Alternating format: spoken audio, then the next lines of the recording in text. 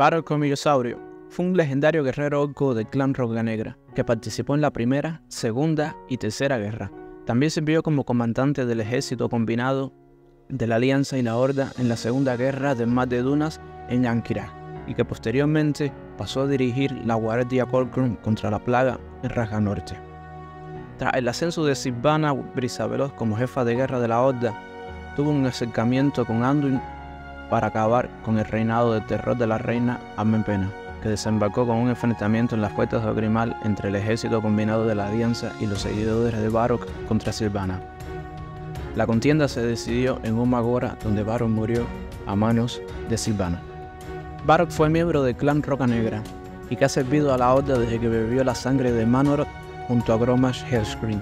Barok lideró los ejércitos que saquearon la ciudad de Shatrat, Ventormenta y nunca perdió una batalla hasta que la Horda cayó al final de la Segunda Guerra.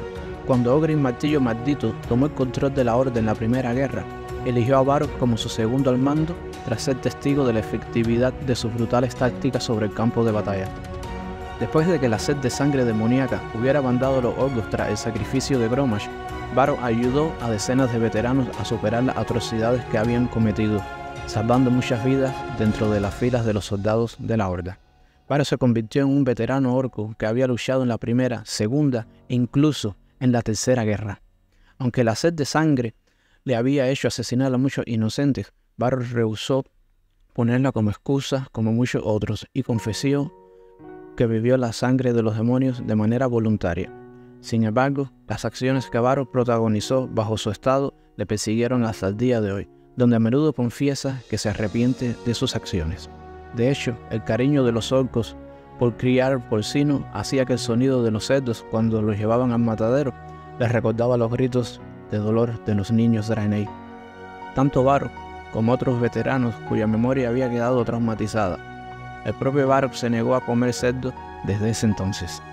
Barok nunca había rehuido entrar en combate cuando se presentaba una guerra o tenía que defender a su gente. Sin embargo, nunca le ha gustado ser el que comience la trifulca y si está en su mano, evitaría que ésta comience, ya que sea mediante palabras o acciones. Baro ha vivido varias desgracias familiares. Su hermano Proxigar viajó al pasado, a la época de la Guerra de los Ancestros, y tuvo una muerte honorable contra la Legión Ardiente. La compañera de Baro, o sea su esposa, también murió cuando se abrió por primera vez el portal oscuro y está enterrada en Nagran. Su hijo Dranosh vivió y creció en Nagran hasta la guerra contra el rey Lish, en la que fue asesinado por el rey Sánime en la batalla de Angratar. En los inicios de la historia de World of Warcraft tuvimos un breve vistazo a Baro, donde estuvo localizado durante mucho tiempo en el Valle de la Fuerza en Ogrimar, donde ejercía como consejero de Sral. Fue uno de los que anunció la muerte de Nefarian cuando su cabeza fue cortada. Más adelante, cuando empezó el estallido de la apertura de las puertas de Ankira, Barok viajó a la primera línea de las tropas de la Horda en Silitus, donde actuó como comandante supremo del poder de Kalindor, lo que fue un ejército combinado de la Horda y la Alianza contra los Silitus y sus maestros Kirak, donde derrotaron a Sistum en el templo de Ankirak. Años más tarde de los eventos narrados anteriormente, Arthas se convierte en el rey Lish, donde sucumbió a Azeroth en un constante terror y oscuridad. A raíz de esto, la Horda y la Alianza decidieron juntar fuerzas para combatir al rey exánime. Desde el lado de la Horda, Baro comandó la expedición de la Horda en Raja Norte, cuando ésta se desplazó a luchar contra el rey Lish, situado en el bastión Grito de Guerra como consejero de Garrosh. Lideró la Guardia Corcron. Durante la batalla de Ankrathar, la principal puerta de acceso a Corona de Hielo, su hijo Dranosh cayó ante Arthas, poco antes de la traición del gran apotecario Putris. Los jugadores le llevaron a su padre la armadura destrozada, y la furia de la horda desembocó en la batalla por entrañas, donde Varus se lamentó ancestral de que la paz entre la Ansa y la horda se hubiese roto. Sin embargo, el destino de su hijo no había acabado en Arratrat. Tras ser resucitado por Arthas y convertido en el Libramonte con Millosaurio, formó parte de la última defensa de la ciudadela de Corona de Hielo, en donde se desplazó al veredicto Cineron y la Guardia Cochrane, Barok incluido. Allí Barok comandó el martillo de Ogrin durante la batalla naval en la mazmorra de la ciudadela Corona de Hielo.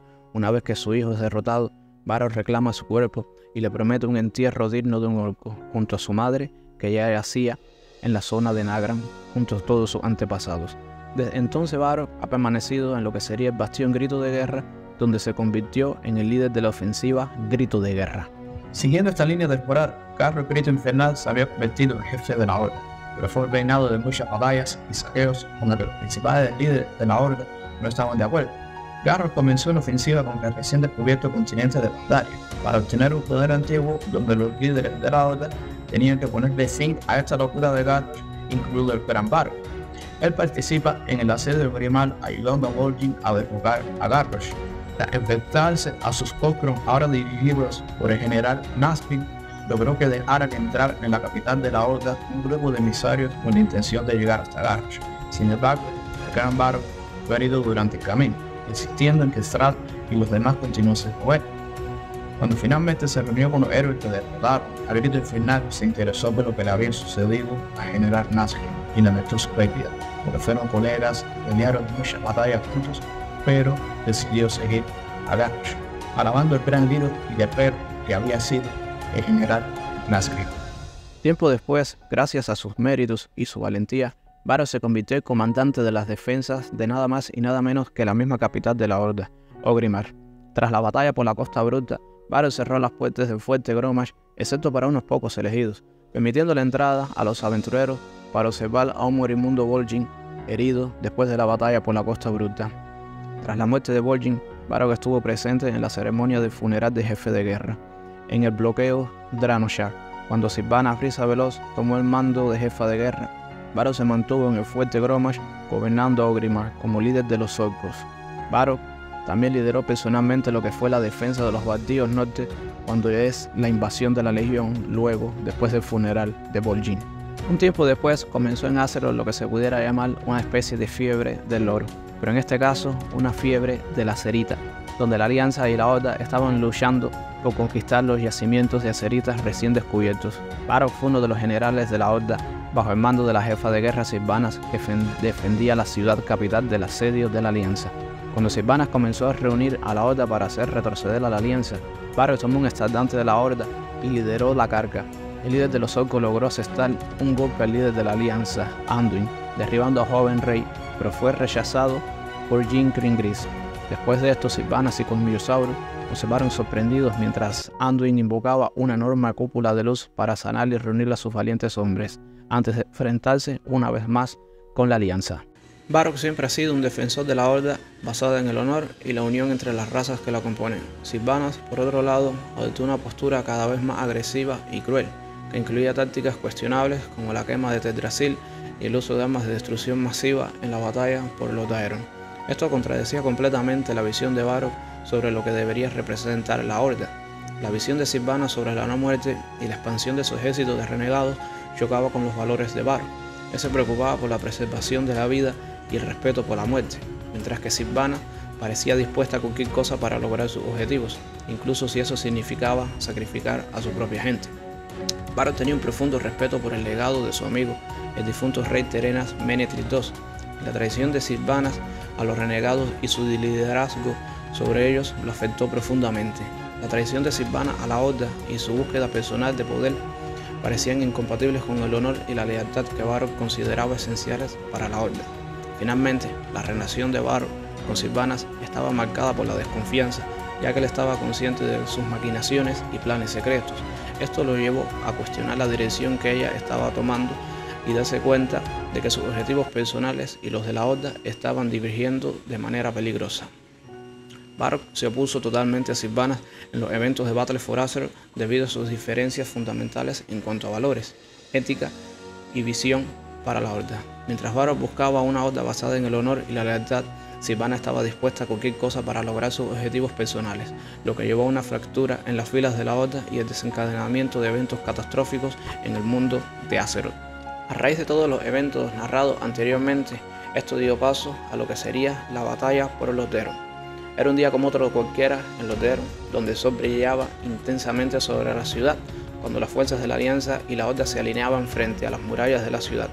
La tensión en el aire era palpable, y Barro con con su armadura ancestral y su icónica Asher se erguía con determinación en medio de las filas de la Horda. Sabía que esta batalla sería una de las más feroces y cruciales que jamás había enfrentado.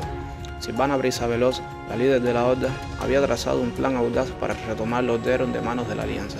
Las fuerzas de ambas facciones chocaban en un enfrentamiento monumental. Barok, con su experiencia y liderazgo, se había convertido en uno de los pilares de la Horda en este conflicto.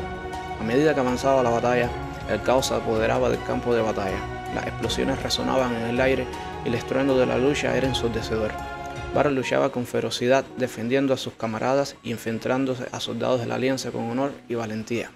Sin embargo, a medida que avanzaba la batalla, la situación se volvía cada vez más desesperada.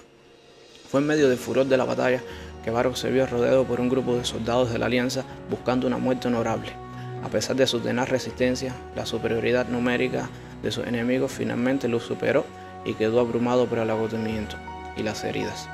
Rodeado por filas de soldados de la Alianza, Barok finalmente no le quedó de otra que rendirse, sabiendo que su captura era inevitable y así, más lejos cada vez se encontraba su muerte honorable. Los soldados de la Alianza lo esposaron y lo escoltaron hacia el interior del Orderon, donde quedó prisionero en una de las celdas de la ciudad que alguna vez fue su hogar. A pesar de ser cautivado, Barro Comiosauro no perdió su dignidad ni su determinación.